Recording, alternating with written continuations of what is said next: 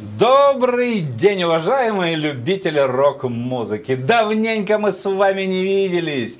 Надеюсь, что вы обо мне еще не забыли.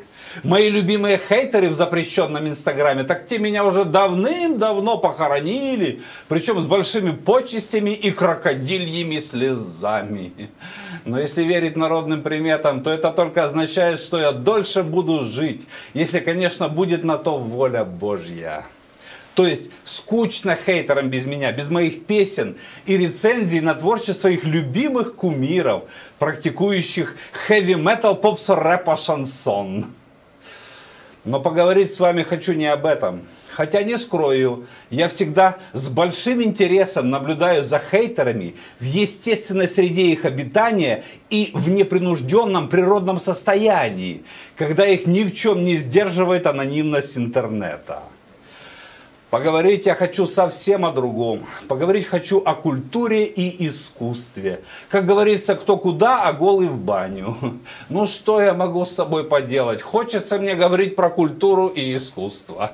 Нет, колбасу и селедку я тоже очень люблю, но вот говорить и думать хочется мне почему-то о культуре и искусстве. Вы можете мне сказать, не до культуры сейчас, в это тяжелое для нашей страны время. На что в ответ я повторю знаменитое выражение «война войной, а обед по расписанию», которое звучит очень по-русски, по-суворовски, по-Василие Теркински. Очень правильно звучит, спокойно, победно, без суеты. И это выражение, конечно же, уместно не только в отношении обеда на войне, а касается любой сферы общественной жизни, включая и культуру – которая не должна останавливаться, несмотря ни на что.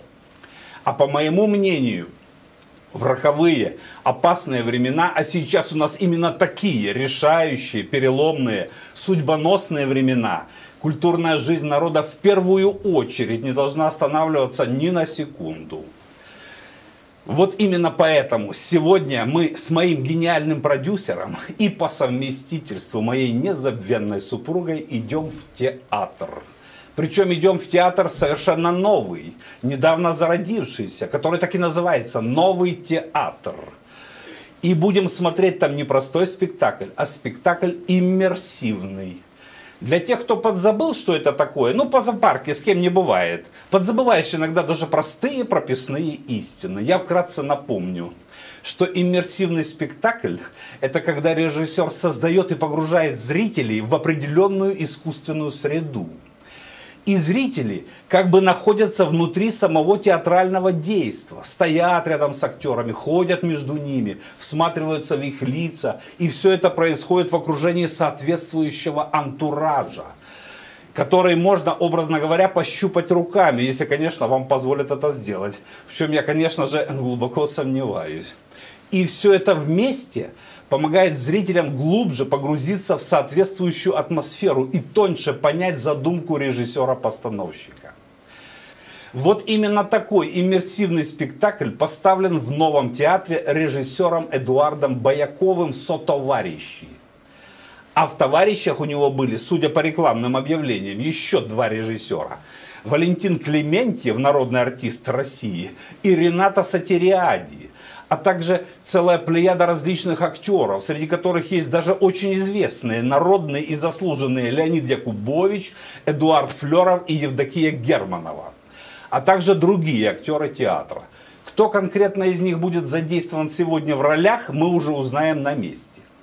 Спектакль называется «Лубянский гример» и поставлен он – по мотивам произведений нашего русского писателя 19 века Николая Лескова. Но в первую очередь за основу взят рассказ «Тупейный художник».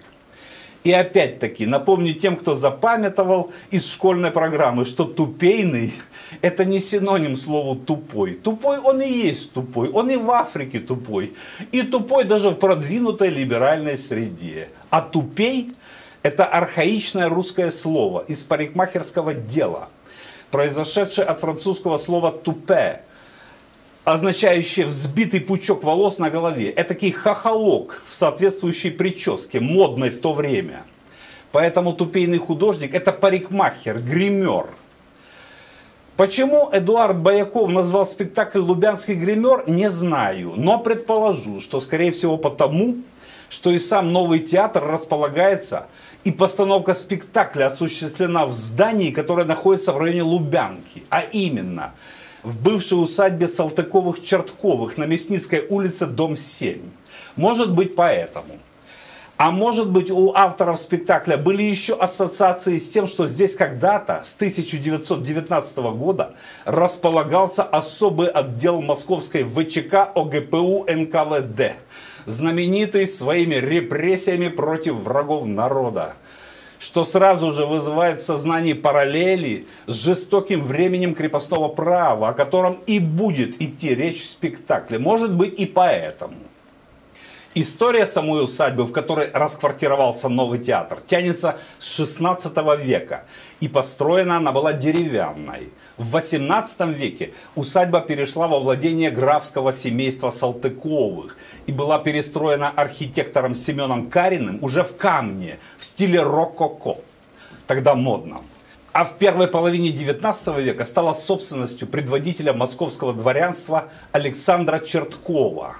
Поэтому усадьба носит двойное название и обладает большой историей. Здесь бывали и Пушкин, и Гоголь, и Жуковский – и даже по легенде, здесь два дня находился Наполеон, когда была Москва, спаленная пожаром, французу отдана. А усадьба в то время как раз от пожара уцелела. Именно в здешней библиотеке Лев Толстой работал над романом «Война и мир», а Константин Циолковский размышлял над теорией космонавтики. И даже сам Феликс Эдмундович Дзержинский, начальник ВЧК ОГПУ НКВД, порой захаживал сюда в свой особый отдел. Да кто только не бывал в этой знаменитой усадьбе. Что там говорить? Сама история бродила по ее анфиладам. Поэтому в ходе иммерсивного спектакля мы будем не просто ходить по залам и лестницам этой старинной усадьбы в стиле рококо, с массой лепнины, завитушек, зеркал, мрамора, паркета, вычурной мебели, а прикоснемся к самой истории – и при этом будем в самой непосредственной близости наблюдать за игрой актеров, полностью погрузившись в атмосферу того времени. Теперь несколько слов о том, почему из большого спектра московских спектаклей я выбрал для просмотра именно этот. Я выбрал этот спектакль не потому, что он модно-иммерсивный, и не потому, что он будет проходить в старинной исторической усадьбе, хотя и это, конечно же, мне интересно – а в первую очередь я выбрал его потому, что мне интересна личность режиссера Эдуарда Боякова. В театральных кругах этот человек очень известный. Перечислять его работы и достижения можно долго. Помимо множества театральных и кинопостановок, он был одним из создателей и директором фестиваля «Золотая маска», создателем театрального фестиваля «Новая драма», фестиваля театра для детей «Большая перемена», основал и руководил театром «Практика», был ректором Воронежской государственной академии искусств и даже до недавнего времени был художественным руководителем МХАТ имени Горького. Ну и вот в 2022 году Эдуард Бояков основал в Москве еще один негосударственный театр с непритязательным названием «Новый театр», куда мы и идем на спектакль. Вот такой вот известный в театральных кругах и очень деятельный, насколько вы поняли, человек.